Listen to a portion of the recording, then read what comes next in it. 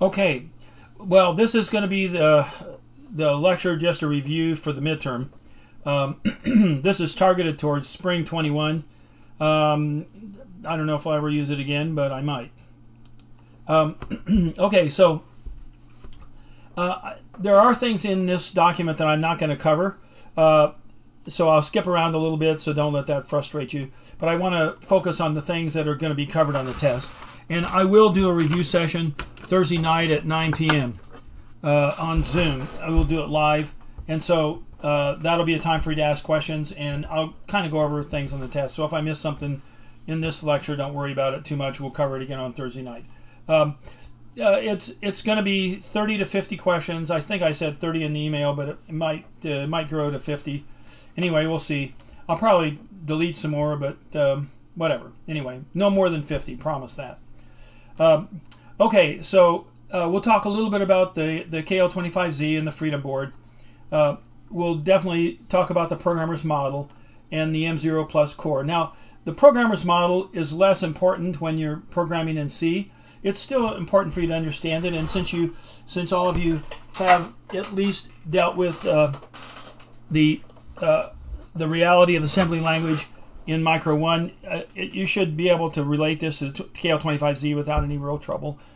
Um, and the basic things I want you to know, I'll go over those, but it, not that much really. I want you to talk know a little bit about what's on the Freedom Board. Basically, the accelerometer, the uh, RGB LED, um, a few things like that. Uh, that it does that it interfaces with the. Um, it has a separate separate actually. Uh, it's a it's an M M4 core uh, KL uh, device that uh, that runs the OpenSDA interface so it can talk to the IDE. It, it so it can uh, uh, so that it can load the software, fl flash the firmware onto onto the KL25Z, and also it also sets up a terminal interface and and a debug interface. And it, it this other chip, this M4 chip, runs all that, and it's a little bitty chip. Um, you probably oh yeah pop this out. let's see. I'll see if I can show that real quick. I, you should. I.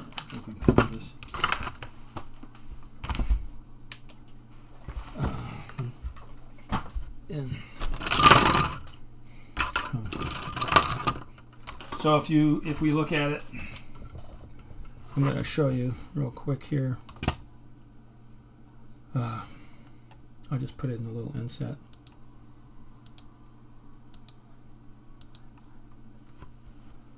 So so the, that other chip, there's the there's the uh, the M4, and I, I, I don't think I can read and see what it is on there. You probably can't either. Um,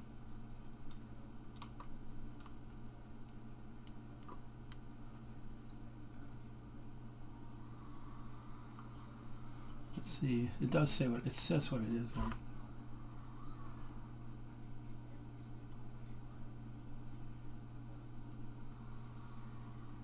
I think it says it's a K. I think it actually says it on there, doesn't it? No. Yeah, K20. It's a K20. But we should be able to read that.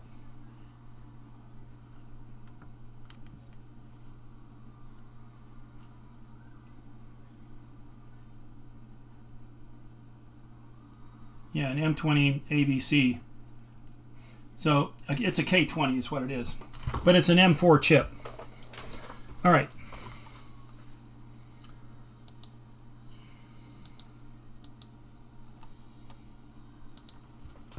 All right. Okay, so moving on. Um, we'll talk a little bit about the. Uh, we'll talk a little bit about the tilt, the the the tilt table, the touch panel, the servo. We'll talk a little bit about the uh, the MCU Expresso IDE. We'll talk a little bit about some C, the operators, how you make a mask, functions, variables, things like that.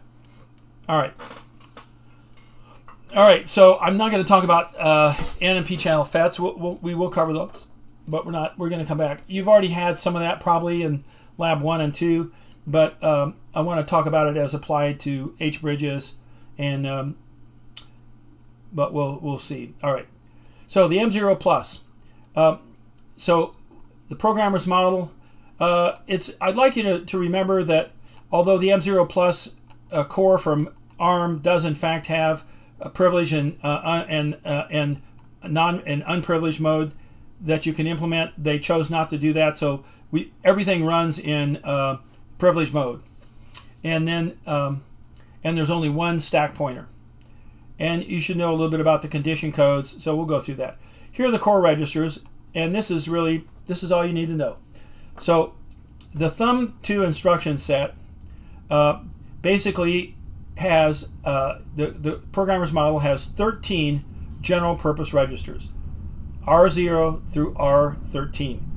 The, the low 8, 0 through 7, are called the low registers, and almost all of the thumb instructions can get to these registers.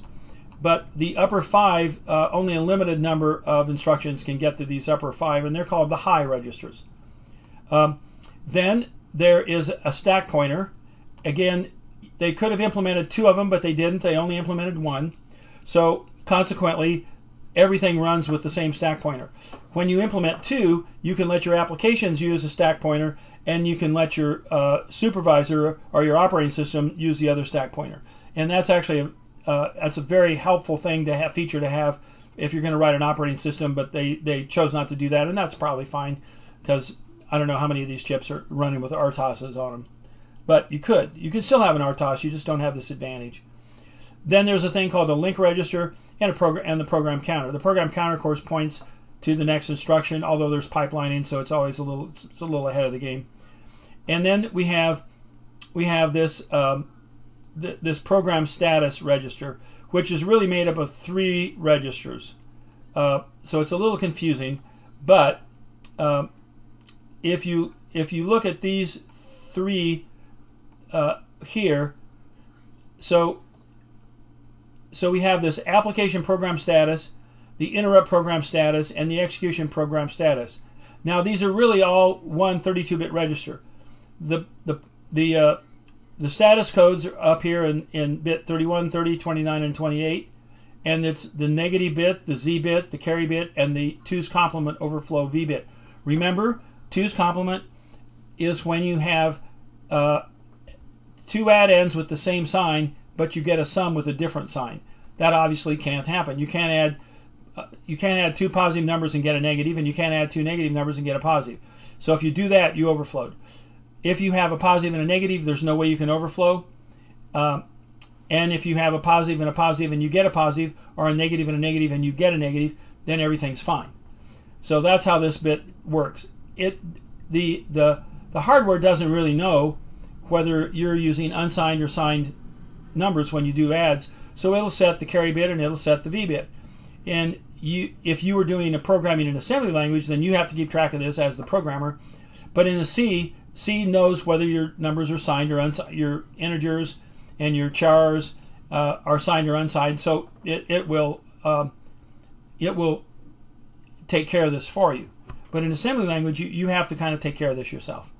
And then we have a, um, I guess it's five bits for the exception number that tells you basically what the interrupt number is. And then you have this single bit down here in this execution program status register, which for this chip, it doesn't do anything except uh, stop execution and it, it, screws everything up and you have to reset. Uh, and the reason it does that, in the higher, uh, in the M, the M4, the M5s, the M6s in this line, uh, they run on they, they, those do have a this is an active bit here and when you uh, change it I think it has to be set for thumb 2 and cleared for when you clear it it switches to an entirely different native instruction set but since we don't have that second instruction set uh, it's a bad idea to, to clear this bit I think it has to be set to one all the time alright and that's all there is to it. Uh, so remember that our address space is this memory mapped address space. It is four. Uh, it is four gigabytes, two to the thirty-two, and uh, so each one of those locations represents eight bits. But the the instructions uh, natively will deal with bytes, half words, which is 2 bytes, or full words, which is 4 bytes, 32 bits. And it'll also do 64 bits uh, uh, moves as well. Uh, when you do, uh, you have limited 64-bit support, but it will do some of that. When you when you address all four bits at once, I sorry, all four bytes at once, what your 32 bits, you have to have it, it has to be aligned on on an address that's evenly divisible by 4. So 0, 4, 8 are C, which would be 12. So you you have to be vital, you have to be correctly word aligned. If you're dealing in half words, you have to be aligned on 0, 2, 4, 6, 8, A, C, E. Yeah, those are the choices. Uh, the odd, any, any, any, any address that ends in an even number is acceptable. If you're, but, uh, and then if you're dealing in just 8-bit bytes, any address is legal and does and, and will be aligned correctly. If you try and uh, move four bytes or two bytes and you're not properly aligned, then you will get a you will get a system error, which will generate a reset. Um, everything's in this address space, and and and the and the address space is in little endian byte format. We'll show that in a second. Here's how it's divided up. Now each of these groups of address of addresses are 500 megabytes.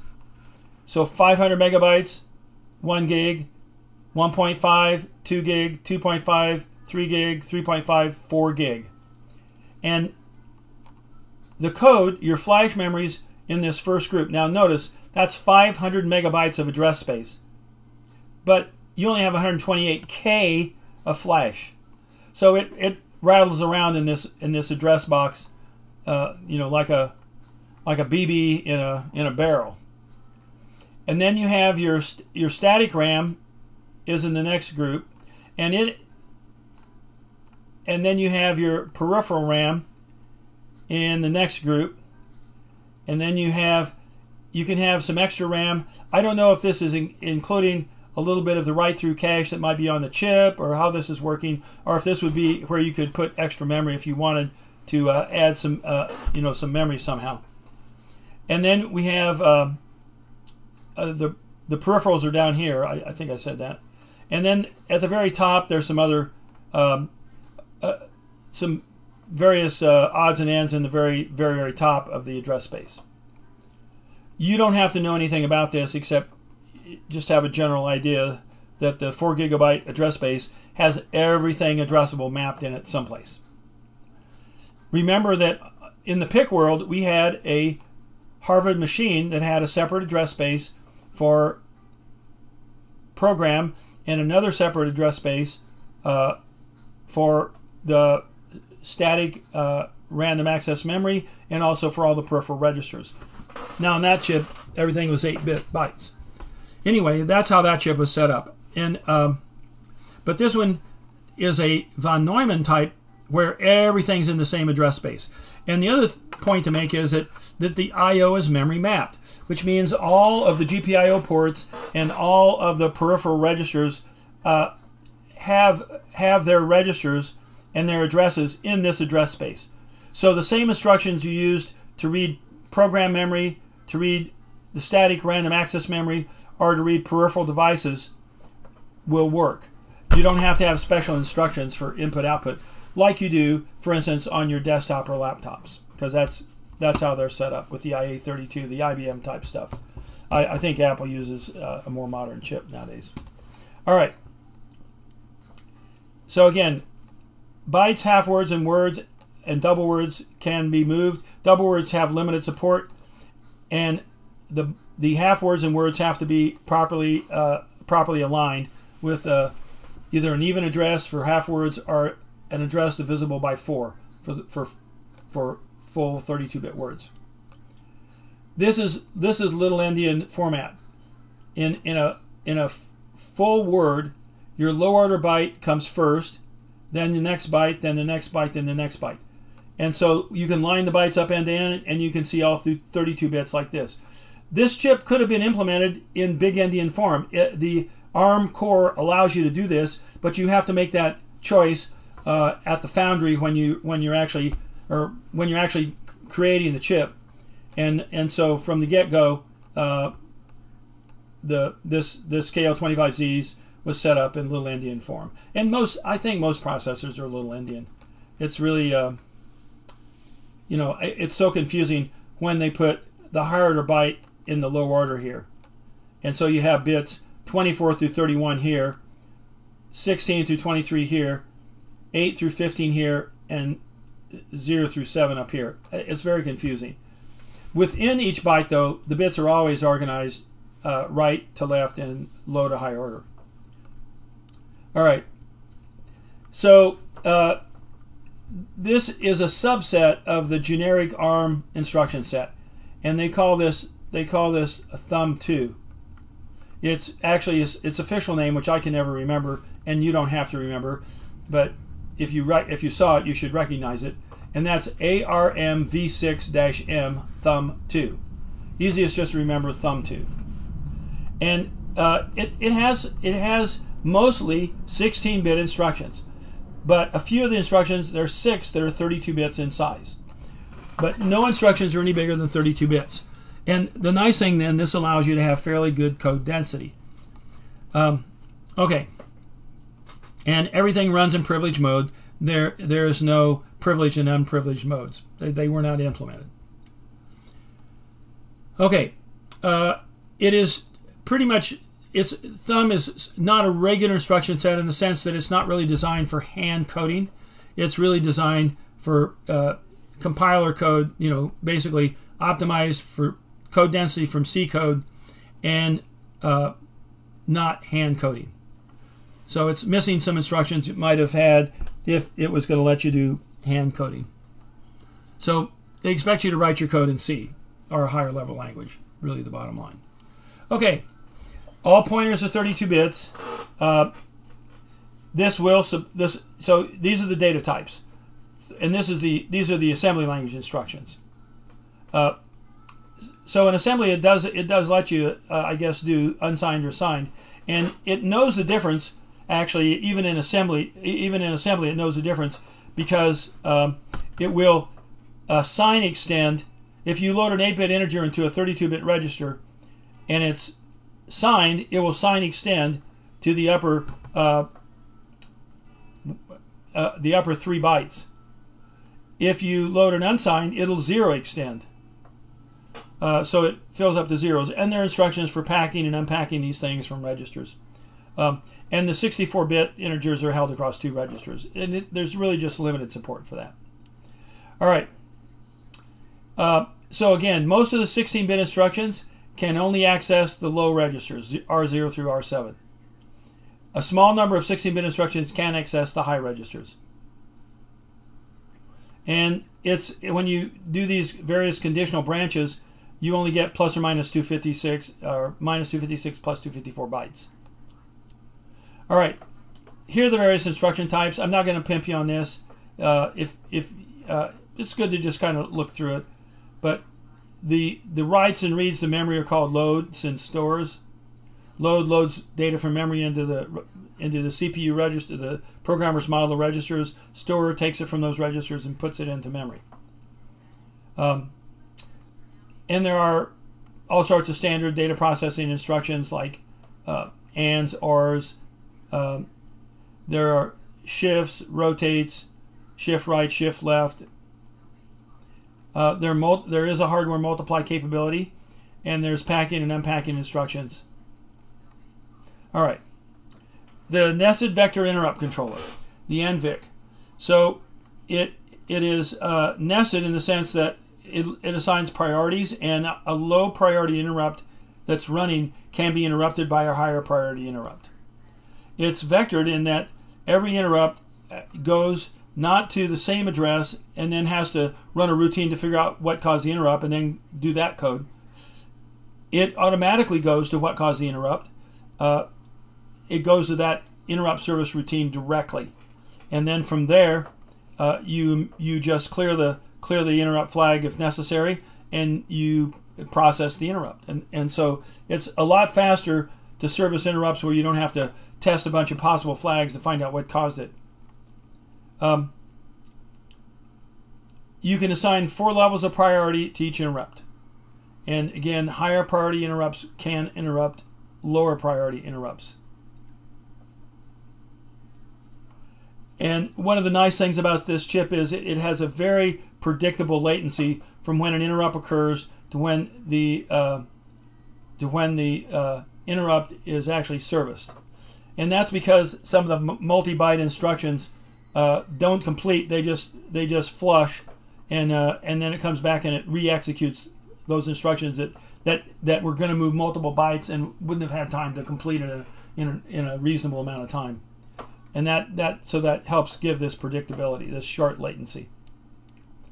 Um, what's nice using interrupts is that you don't have to poll to catch an event, and when you're polling, generally you're not getting anything else done. So it's really nice if you can use interrupts and have the main routine doing whatever it wants, and then only having cycles stolen when an interrupt occurs and it needs to go out and service that interrupt. It's good for brief events, rare events, or frequent events, and still lets you do other things. Um, okay. Uh, on this chip, there there are lots of different sources of interrupts. There are, I think, 32 different numbers, and that's how big the vector table is.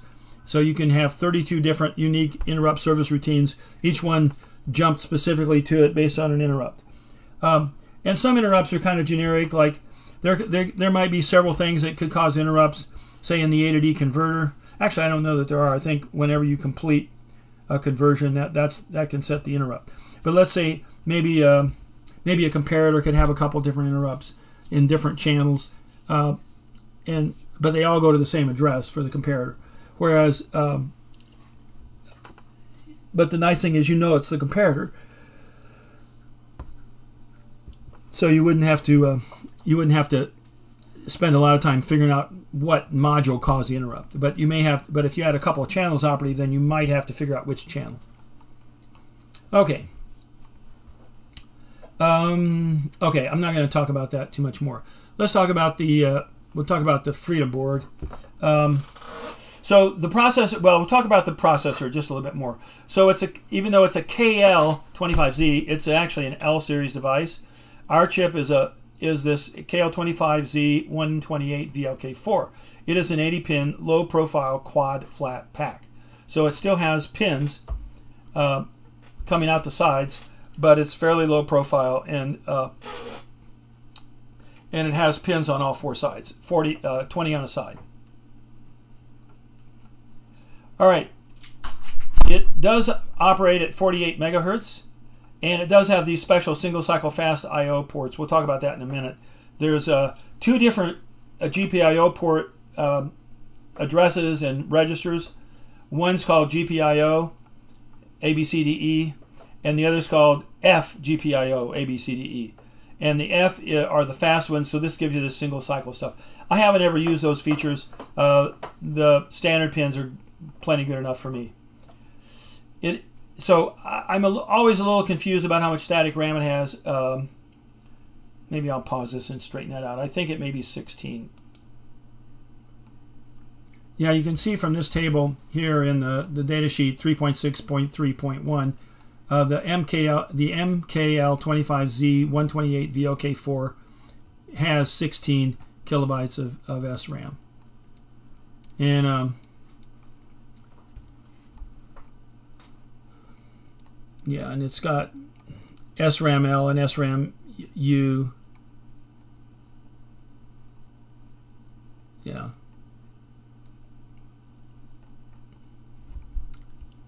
It's a little confusing why it would do that, but anyway, that's how it's set up. They split it over this interface.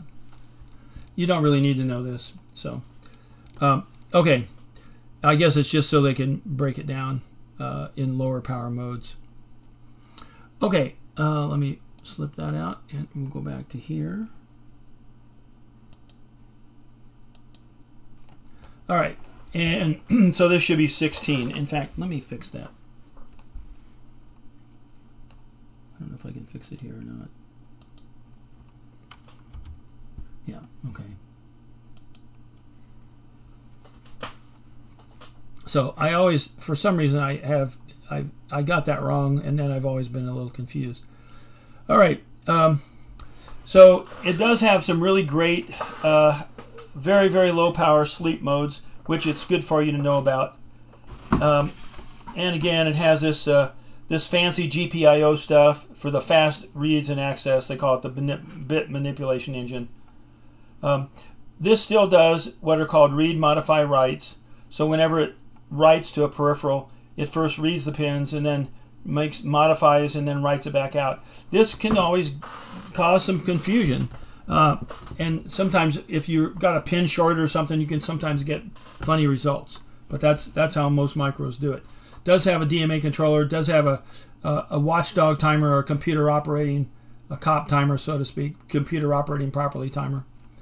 Um, in, it has a big fancy clock module. On our board, there's an 8 megahertz external crystal oscillator for the KL25Z. And actually, there's another 8 megahertz crystal oscillator uh, for the K20 that's on there as well. But uh, anyway, that goes into either a frequency lock loop or a phase lock loop, and you can generate a whole bunch of different clocks from that uh, on a whole bunch of different frequencies.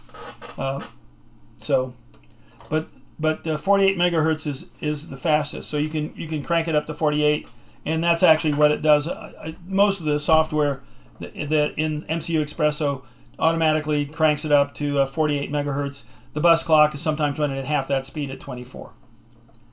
Um, okay, so we we do have. Um, a 16-bit A to D converter. It's a SAR type su successive approximation register.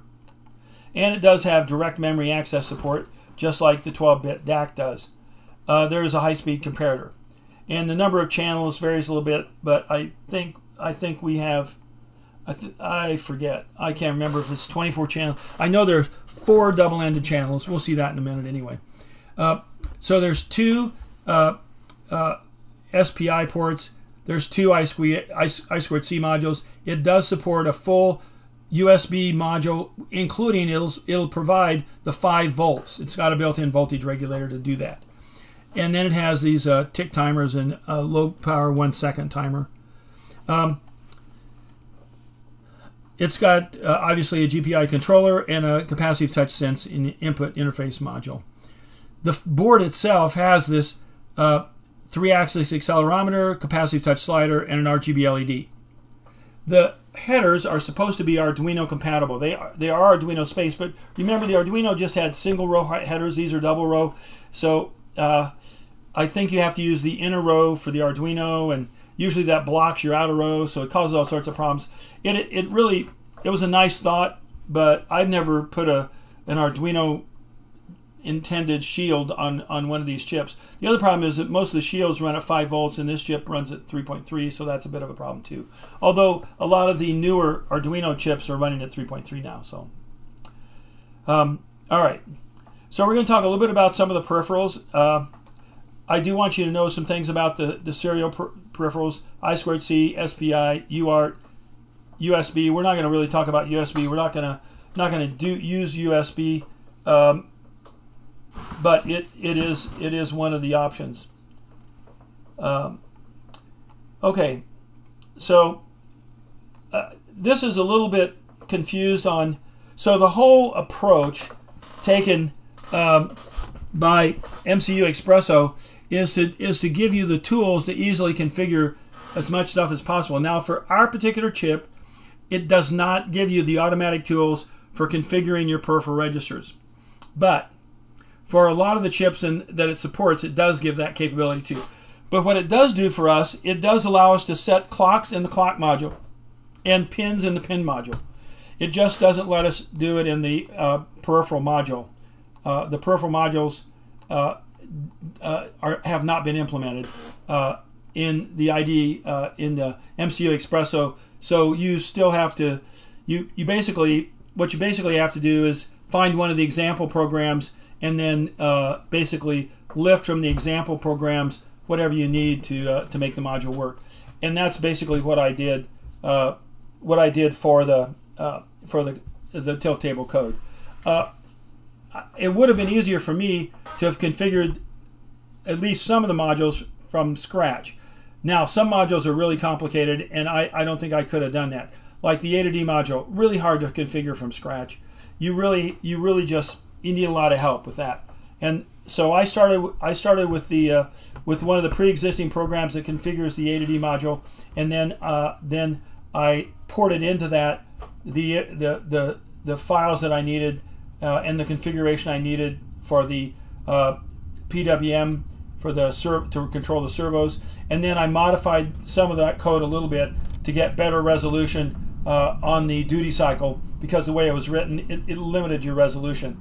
Um, it, it limited the resolution to a percentage, which would basically be zero to 100. Uh, and you couldn't do fractional portions because it used integers. So you couldn't do you couldn't do 10.5 or 10.25. You could do 9, 10, or 11. Those were your choices. Uh, and since we're using a servo, we're, we're only a small part of that duty cycle window is useful to us. And now that gave us very, very uh, poor granularity of control over our servos.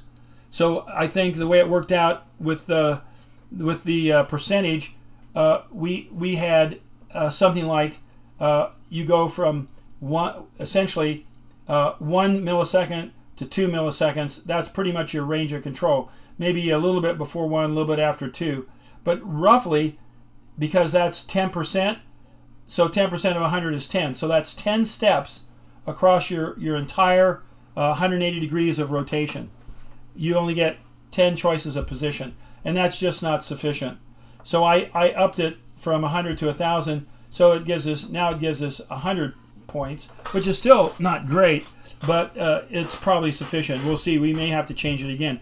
I think the native the native uh, registers could give you a lot more because they're the clock is a 16-bit clock, so you, it, it goes from one to 65,000, and you get uh, uh say you get 10% of that uh, well, that's 10% of 65,000 still, that's, that's a fair amount. That's, it's at least 6,000 different steps. So that's probably more than you need. It's probably, probably can't even resolve that many in your actual servo. It's a little clunky. Um, yeah. All right, so here are the steps for setting up a pin, uh, setting up a port. The steps, these are still the same steps that you have to do in MCU Expresso, but in MCU Expresso, if you're using the the helper code um, and you're configuring the pin yourself, you just do this in a Google in, in a GUI interface, and it's all set up for you. It generates it generates the software, and the software is a little different. Um, it does all these things, but it it uses uh, it uses uh, structures and function calls. Uh, so first you have to set the structure up, and then you call a function, and then, then it writes the values into the register for you rather than having you write the values into the register. So, uh, so that does constrain you a little bit, and sometimes you have to do workarounds if it doesn't give you all of the options. Uh, but here are the steps. You first have to turn the clock onto the port, and I covered this in some of the labs. You have to set the pin uh, as GPIO in the multiplexer, and the actual register on the chip is the is the uh, is the, the GPIO, say for port A, pin 18, it would be GPIO A underscore PCR for pin control register 18, and then you write, there's a 3-bit field in that that you have to write the 3-bit code. And the 3-bit code for GPIO mode is always 001. It's always choice 1. Choice 0, which is the default choice, is always defaults to an analog function if there is one. And if there's no analog function, then it, it uh, uh, then it may not. I, I don't know. I guess it doesn't default to anything. I don't know what it does then. Maybe it defaults to GPIO in that case. I don't know. Uh, we can see uh, if we want to look. Let me uh, let me pause it here. Okay, so this is the multiplexing table in chapter 10. And if you scroll up here, um, yeah, okay, you can see there's no analog function on PTE0. So the default setting for there's nothing for alt 0 that's default so it's just disabled disabled disabled disabled and then here you can see that's a USB function. That's a voltage out or something. That's a 3.3 out pin. That's a um, I don't know. Anyway, and here you see the analog functions. Analog to digital converter uh, zero, single-ended zero, uh, the dual-ended positive zero, and then down here is the dual-ended minus zero, our single-ended 4A, and so forth. And um, anyway, so if there's no analog function or some other function like like a software clock uh, or a, the non-maskable interrupt or various things or power inputs or analog power or whatever, then then they're disabled. So that is the deal. Okay.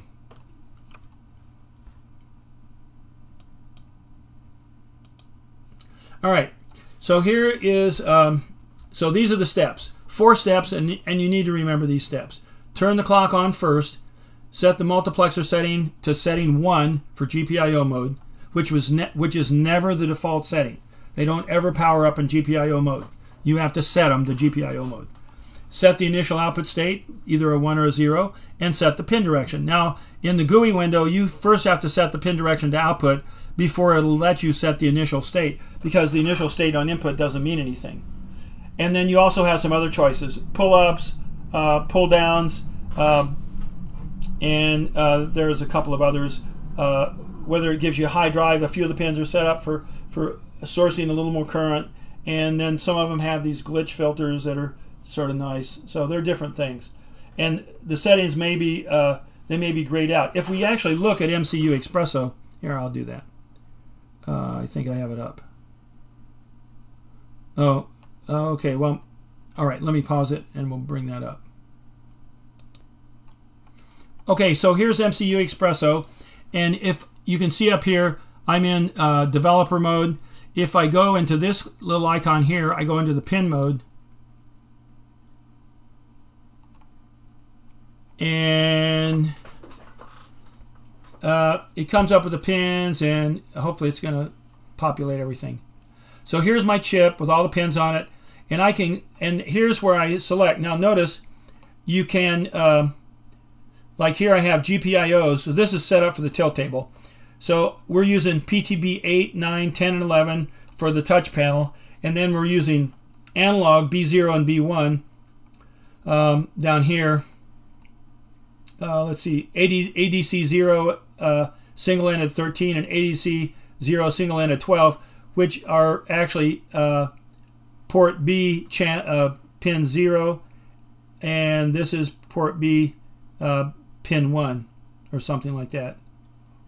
Uh, no, I take it back. I think it's 3, 2 and 3 and then our TPM is, is our uh, this is our our PWM output and it's port B bit 0 for channel 0 and port B pin 1. So we're using port B zero, one for the TPM 2 and 3 for the A to D, and 8, 9, 10, and 11 for the touch panel. And what we do with 8, 9, 10, and 11, we, we, we have uh, two of the lines. So one connects to the left side, one to the back, one to the right side, and one to the front. So when we want to measure an X value, we put the left and we put a voltage across left and right, zero on left, say, and and 3.3 volts on right. And then we, uh, so you can see here we have this set up uh, PT8 is logical 0 and PT9 is logical 1. So that's left and right. And we gave them names left, right, back, front. And uh, I, I think you can see this. Yeah, barely, maybe. Anyway, this is very nice. And then you can see over here, this is this basically reproduces that table that we see that table that we see in the uh, in the in the manual. It lists all the pin numbers here 0 through 8, 1 through 80, and all the ports, and it and it tells us what the function is. So that's that's really nice. And and you can see it's set up by what modules we have, and we can actually make this a little bigger if we want to pull this over here. But uh, anyway, uh, and this is our chip here. And then you can see uh, these are the pins we're using. So we're using PTB 8, 9, 10, and 11 and we're using um, let's see uh, I don't see there's the UART pins and yeah, ADC 0.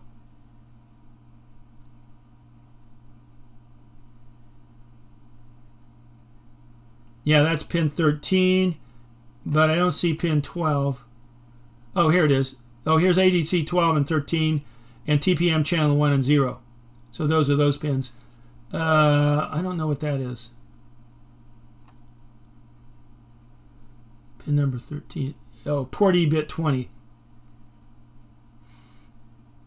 Oh, I think that one was just left accidentally. I probably should turn that one off. Yeah. Yes, this is this is here. So it's it's ADC 0. Um, yeah. So I, I don't think I'm actually using this pin. So I probably should I probably should get rid of it. It, it was uh, it was there originally. I just never deleted it. All right, so you can see it shows you all the pins you're using, and you can click on something and it'll and like you can click on this and it'll give you all the all the pins in that port that you can use and set them up. All right. Okay, so we're not gonna not gonna use any of those. And you can see when you click on them, they turn yellow, and so it's it's really nice. Okay, um, so let me. I'm gonna go back to developer mode. Now, if you want to mess with the clock settings, you can go into the clock. So these two are implemented on this chip, and you can you can you can select these clock values. You can change them over here, um, but if you try and go into the peripherals here, you'll see that it just says they're not implemented. Uh, peripheral tool does not support selected processor. Sorry. Sorry, Charlie. So, so you have to set the peripherals up yourself. But you have lots of example code, and so you can pick one of these and use that. And that's, that's what I did. Okay. And it's only took me all week to do it, but it, it wasn't terrible. Okay, so remember these steps. Even though we don't we don't usually do these absolutely directly now, we actually use that GUI interface instead. Okay, uh, so these are some of the other features, and you can set them in that same GUI interface. And they're they're not all pins do not implement all of these things. I think all the pins implement pull-ups and pull-downs, but some of them some of them don't implement slew rates drive rates and uh, and uh, so, and the uh, little filter noise filter thing, glitch filter, or whatever. All right, I did cover timers in one of the lectures. I'm not going to ask a bunch of questions about them, but uh, you should just you should at least know the four timers we covered. And um, the uh, let's see, I think I talked about all this stuff. I'm going to skip through this. Um, yeah, I, will mention Open Collector. The, the I2C lines are always open collector, and it basically takes a transistor like this or a FET, so that would be open, uh, open drain. And what it does, uh, when when the when the uh, when the transistor is in cutoff, then this pin is floating. And when it's when it's turned on, it pulls this pin to ground. So what's what you can do then, you this pin connects to the bus, and everything connected to the bus is connected with an open collector, so that it's either floating or pulled down. And that means you never have any conflict on the bus between um, between something trying to pull the line high and something else trying to pull it low. Because the only thing that pulls the, the line high, we have one external pull-up resistor usually size somewhere between 2 and 5k ohms and it, it's, it's connected between the line and, uh, and VCC so that it pulls it up to 3.3 volts if the transistor is cut off. But if the transistor is turned on or the FET's turned on, the channel is turned on, then it pulls that, that down to zero. And of course it can totally it can easily overcome the 10K pull-up. So that's how that works, and and it, this is a really really nice feature, and it's always used by I squared C, and there are a few other bus protocols that use uh, use it as well. We call this a wired OR because it, functions as though uh, all of the all of the connections to the bus are going through a common OR gate. so they don't ever get in contention with each other. okay. Um, th this table is out of the uh, PIC thing. Uh, remember, there are a lot of fancy uses for GPIO. You can basically mimic most of the well, you can mimic most of the digital modules with them. Uh, you can mimic PWM just by setting up a little loop and a, uh, and a counter and controlling it that way. Uh, but your mainline routine would be bogged down doing nothing but that. So it's really nice to have a module that can do this automatically. And once you set it, you can forget it. Um, okay, here are the four timers we covered. Uh, I'm not going to spend a lot of time because we did go over these. Uh, basically, um, so four timers. Let's see the the time the PWM timer. This is what we're using with our uh, servo, and there there there are uh, there are three different timers, one for each of the TPM channels, and uh, those channels will be configured for capture, compare, and PWM mode, and um, channels uh, uh, module zero has six channels, module one and two just have two channels. So you could actually, in theory, you could have eight uh, PWM signals, but everything in the same module has to be running at the same clock frequency for the for the overall cycle, for the overall PWM period. The duty cycle can be adjusted by channel. So every channel has its duty cycle register effectively, but the whole channel, uh, all the whole module, all the channels in that module have to have to be have to be have the same pulse repetition frequency or whatever you want to call it. Um, okay, and then we talked about the periodic interrupt timer, the low power timer, and the real time clock. I'm just going to say a couple things about these. As long as you kind of know a little bit about these, that's fine. There are some other timers and other clocks on the chip, of course, but we're not going to talk about them. Um, so remember that our TPM timer uh, comes from either the bus clock, the, either the system clock or the bus clock divided by, or the system clock divided by two, and uh, you can pre-scale it by by 1, 2, 4, 8, 16, 32, 64, 128. It uses a 16-bit counter. So so you can see it with a 16-bit counter, it's going to count up from 0 to 65k, 2 to the 16th.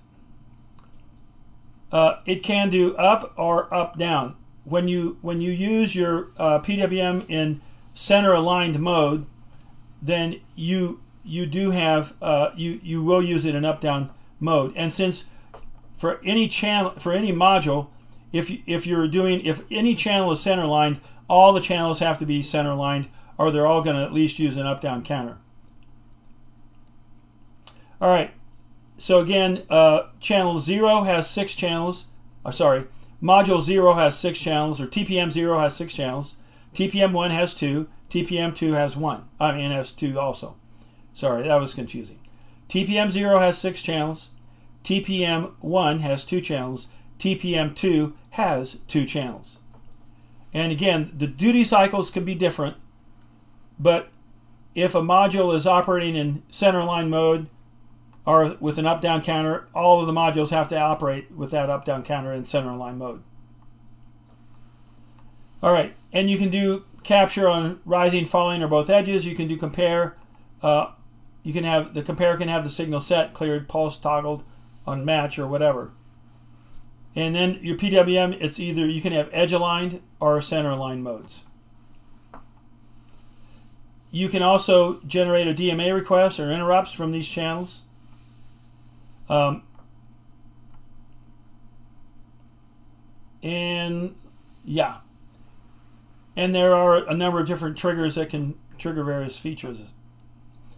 The periodic interrupt timer, basically, um, it can be used to trigger DMA channels, to raise interrupts, to mask interrupt, uh, maskable interrupts, and also independent timeout periods for each timer.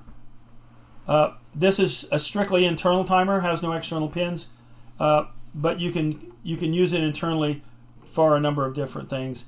And you can you can chain two timers together and get a 64-bit forever timer. Well, 2 to the 64th, uh, a 32-bit one second timer can run for 136 years, I think I calculated. So you can imagine what 2 to the 64th will do. Because, huh. yeah.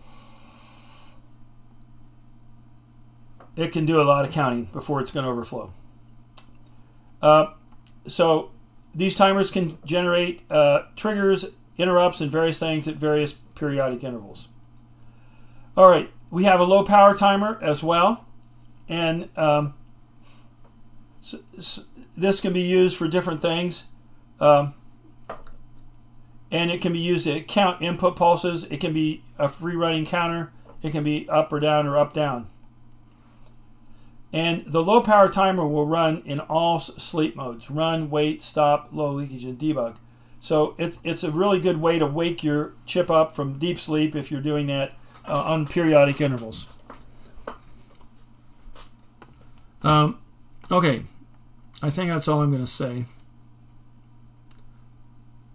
The real-time clock, 32 bits. It can go for 136 years.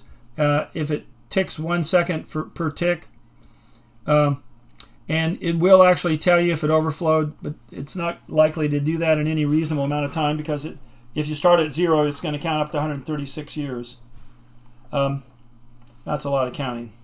It does have a 16-bit prescaler, and it can and it and it has uh, compensation to adjust your your frequency by as little as 12.12 parts per million, or as many as almost uh, 4,000 parts per million. So you can see you should be able to fine tune that sucker so it's really right on target. Once you initialize this register, you can you can do write protection, and you have to do a power on power on reset to uh, enable ac write accesses, and it'll crank out this one hertz square wave. All right. Um, so yeah, there's lots of uh, lots of lots of uh, um, real-time registers here. I'm not gonna I'm not gonna get into that. And I, um, yeah, it runs on this internal 32.768 uh, crystal, uh, which uh, you can you can adjust a little bit because there it has cap tunable capacitors that can be modified by software by up to almost 4,000 parts per million down to as little as 0.12 parts per million. And then you can use the lock register to prevent any additional accesses until you have another power on reset. All right, EA to D. Uh, I don't want to spend a lot of time. I think I have talked about this. It's uh, it's up of up to four pairs of differential and up to 24 single-ended analog inputs. And the differential can operate in 16-bit, 13-bit, 11-bit, or 9-bit modes. The single-ended, which we're using for our tilt table, can be 16-bit, 12-bit, 10-bit, and 8-bit modes.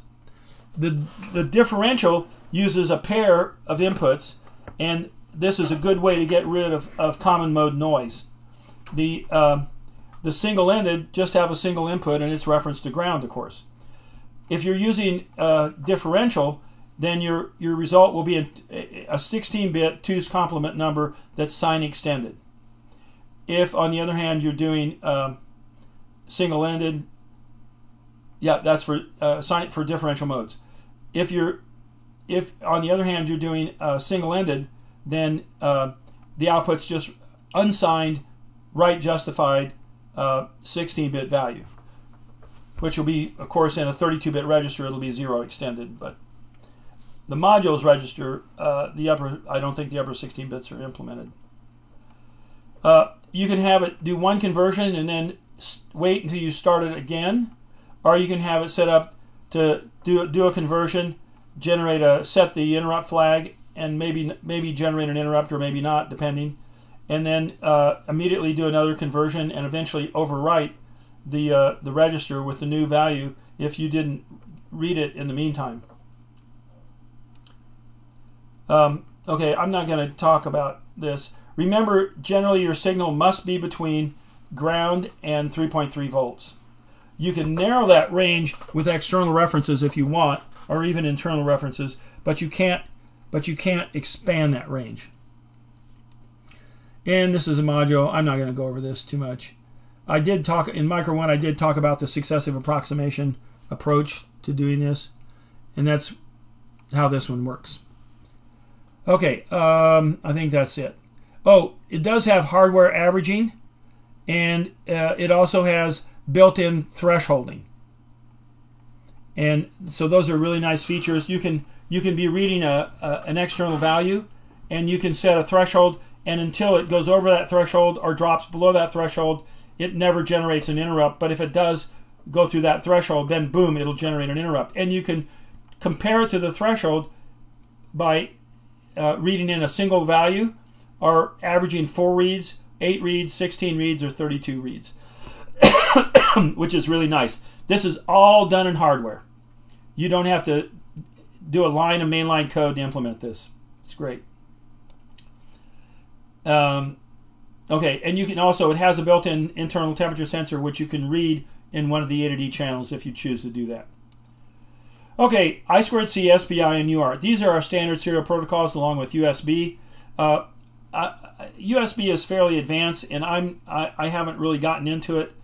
Uh, this chip does support it totally, but uh, we typically don't use it. Although uh, since we have a, uh, a, a demonstration program, we probably could implement it and get it to work and be real happy with it. But I haven't done that yet. Maybe I will soon. So these are the three I want to talk about. And, and you should know the features of these three protocols. And I think with this, I'm probably going to quit. Um, okay, so, so these are all considered serial. So is USB. I squared C has two lines. In I squared C, let's see if we go, yeah, and it stands for Inter Integrated Circuit Communication, Serial Communications. So inter integrated is the II, and they abbreviated I2 because it's I squared. So IIC.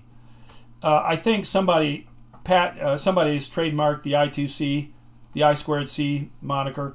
So some people just do, you know, I, IIC instead. Or maybe they didn't, I don't know. Uh, anyway, you can run this in master mode or slave mode. So there has to be one master, but there can be a lot of slaves. There there is such a thing as 10-bit addresses, but I've never seen a 10-bit address. But the, but mo- almost all of the I2C devices I've seen are 7-bit addresses. And what you do is you take the 7 bits and you add one more bit, and you make that the, the 0 bit, the low order bit. So you shift the 7 bits to the left, and then you take the lower bit and you set it to a, to a 1 if you're going to write and a 0 if you're going to read, or maybe vice versa. But Anyway, that last bit indicates whether it's a write or read. I think it is one for write, zero for read. Uh, and as long as you have, as long as you have every slave has a different seven-bit address, then you can have, in theory, up to 127 of these devices connected on the bus. Now, that's turns out that's a lot of capacitance on the bus. It doesn't really work that well. So usually you you get start getting into trouble once you get a whole you know 20 or 30 of these hooked up, you, you might want to use a net, use a, second I squared C module. Um, yeah, you can mask interrupts on this. There's a thing called clock stretching where if a, there's a slow peripheral, it can hold the clock line low to let the master know, hey, uh, I'm having trouble out here. You need to slow down. And that's uh, and that takes advantage of this uh, uh, this open collector bus because when the slave pulls it down, the master releases it and expects it to go high because the pull-up resistor is on the line. But if it's being pulled low by a slave through a through a you know through a uh, through a bipolar transistor or a FET, then it's it's pulled down pretty hard to ground, and that 10k resistor is not going to or that 5k or 4k or 3k resistor is not going to pull it up. So, uh, so, so this is a way for the peripheral to, to just effectively take control of the clock and slow it down, and the master just waits until the clock floats high, and then it goes on to the next thing, or pulls high. All right, that was a little confusing, but just remember this: it has this clock stretching capability. And in theory, you can have more than one master, but I, I don't think people implement that much. Um, all right. And here's how it works out. You have the SCL connects to SCL, SDA connects to SDA, and both the lines have a pull-up resistor on them. We put the pull-up resistor on your Viva board. Some slaves have it built in, so you have to notice if if you're trying to use a slave with, that's built in, then you may have to deactivate the pull-up on the slave, or you could you could unsolder them on your Viva board if you were going to use it that way for a long time. Sometimes you can just get by with two pull-ups. Uh, if you're using 4K, it just drops it to two, and that's an acceptable pull-up value anyway. But if you're using, you know, 2K and it drops it to 1K, that eh, might start to get a little, might might begin to be get difficult for the uh, for the open collectors to to pull the line down fast enough. All right, and uh, I'm not going to spend a lot of time. Uh, there's a lot of nomenclature. I'm not going through all this. Uh, I, am not going to talk about this much, but there is a there are two special conditions. Normally, you only allow uh, the data line to change when the clock line is low. So this tracing is the data line. This tracing is the clock line. When the clock line is low, then you can change the data line. And then when the clock goes high, you have to stop changing the data line and you let then you let either the master reads the data or the slave reads the data or whatever. The two exceptions to this are when the clock is high, the if the uh, the if the data line is pulled low while the clock is high, that's a start condition. And if the data line is being held low and is allowed to flow is allowed to get pulled up high, then when the clock line is high, that's a stop condition. So you so the typical flow is you issue a start condition, then you send out the slave address with the appended read or write bit, and then then you uh, send out another start condition, which is called a restart, but it's the same thing. Down here, restart, same exact thing, and then you uh, and then you read uh, the typically eight bits of data in. And then there's an acknowledge at the end of that. There's a, what's called a NACK bit where it acknowledges whether it got the data correctly or not. All right. Um, so SPI is a little different. Um, and usually what we do is we use I squared C for slow stuff, SPI for fast stuff. SPI is more complicated because it has uh, it has a serial data out and a serial data in line, and it has a clock that's a separate line, and it has a slave select line. So so for one slave it takes four lines plus power and ground obviously, whereas the I squared C takes two lines plus power and ground for a, a typical slave, and you can have a lot of different slaves. In SPI, you can have more than one slave, in the classic use, you have to you have to have uh, a separate slave select line for each additional slave that you add. So for two slaves, you have to have five lines. For three slaves, six lines, and so forth. But there are ways of working around that. You can daisy chain them together but then it takes more time to send the information out. But the nice thing about SPI protocol is it can run fast, uh, much, much, much faster than the uh, I squared C. I squared C is limited to about 400 kilohertz, and the SPI can go into megahertz ranges. You know, 20, 30, 40 megahertz, or maybe higher, depending. And uh, the only thing confusing about SPI is it has four different modes. And the four different modes are uh, based on uh, whether the clock idles high or low, and whether the data, data is latched on the falling or rising edge. And that has driven me crazy. And I had one device I bought I never could interface because I, I, I guess because I never could get the right mode set up. All right. Um, the one nice feature about SPI is it, it is this it is bidirectional. I think I've got some slides here. Yeah. So here's your master, here's your slave. And we we sometimes call this serial data in, and this would be serial data out. But we also can call it MISO, which stands for master in, slave out, and MOSI, which is master out, slave in. Now the nice thing about MISO and MOSI uh, I wish they all use this nomenclature, but apparently this is copywritten, and so a lot of the companies avoid it. But but if you uh, if if you have your device, your if your master's is labeled MISO and MOSI, and your slave is labeled MISO and MOSI, then you you just connect MISO to MISO and MOSI to MOSI, and clock to clock and slave select to slave select. Now here, there's no slave select line. The slave select is permanently grounded, so this slave is always uh, talking to the bus and uh, driving its uh, its master in slave out, its MISO line. But uh, if you had another slave, you would have to put the, you'd have to tri-state the, this output so that it so that it wasn't driving the MISO line. Uh, and to do that, then you just let the slave select go high. You'd pull it high or set it high, and that would that would shut this chip this out the MISO output down, so it wouldn't be a problem. Probably tri-states everything, so there's no impedance drag on these other lines. All right, so over here we have the master generating the clock with its baud rate, and it shares its clock directly through a line with the slave.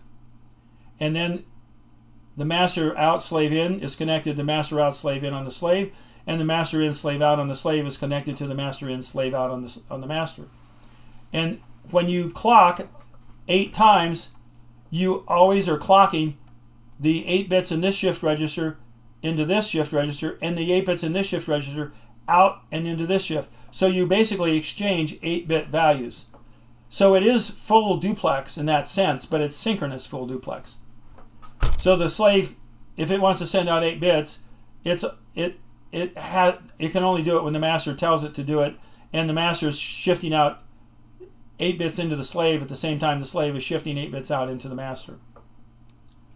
Here's where you can daisy chain them. Well, this is, here you have a separate slave select. PPO one, 0, PPO 1, PPO K for the kth slave. But here you can daisy chain them. So you, you don't even have slave select.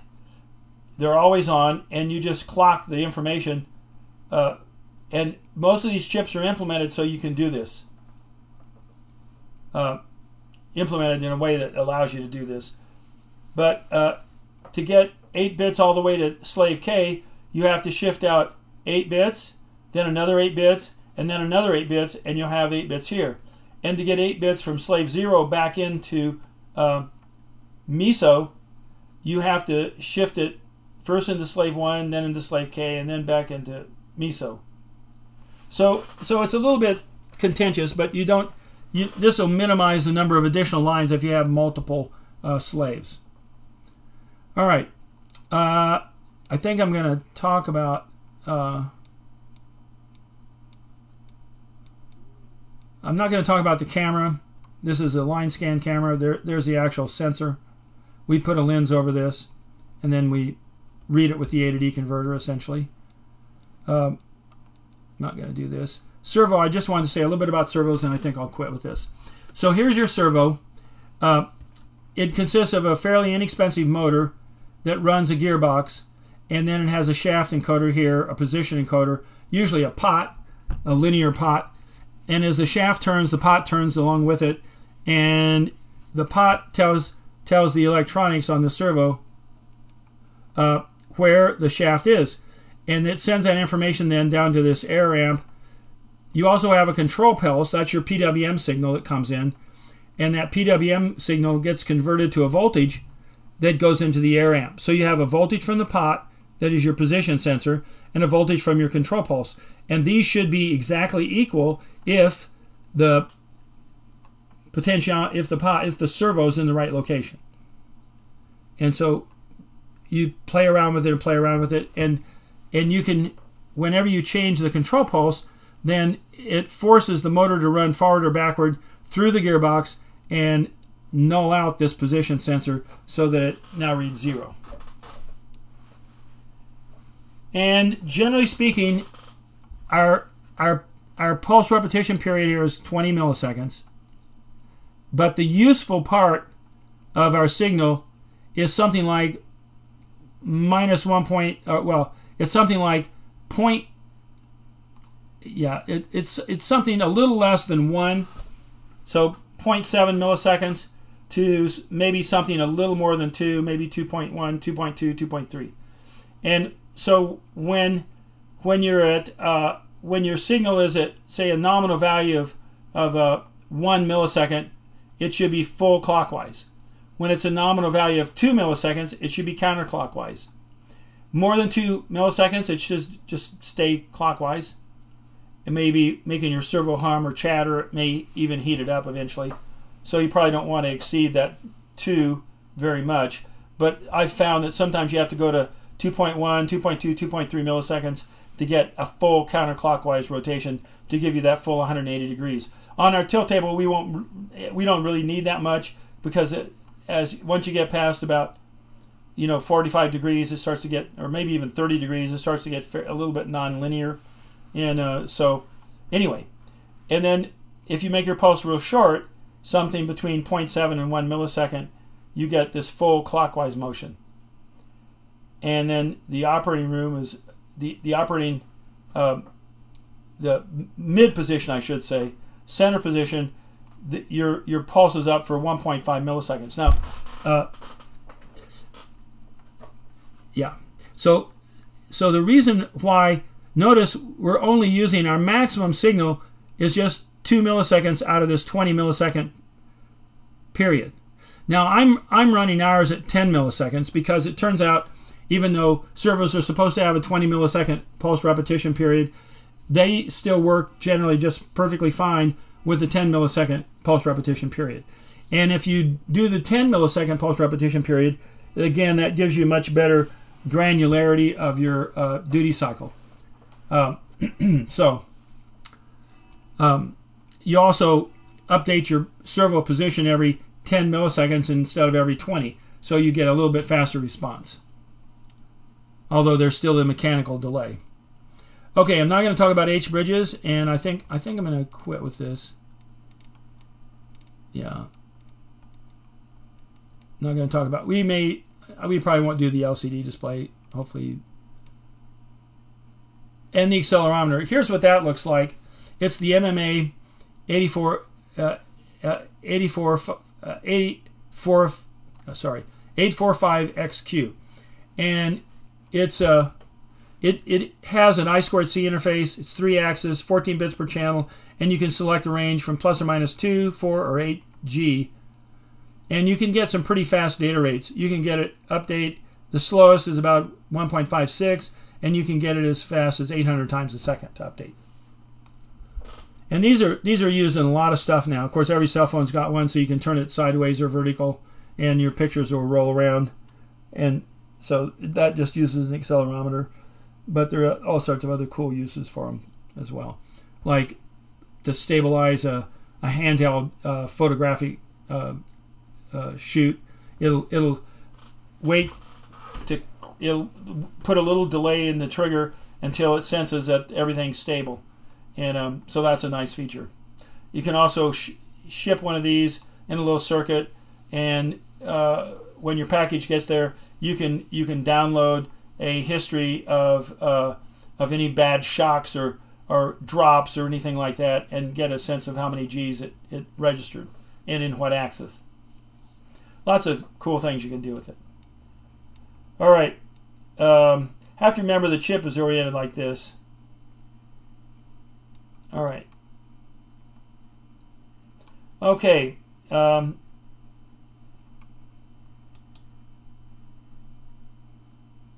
All right, I think I've covered everything I want to cover. I'm going to stop uh, the recording here, and um, then I will. I was going to talk about uh, calibrating your touch panel using MATLAB. I will cover that in a separate video later this week.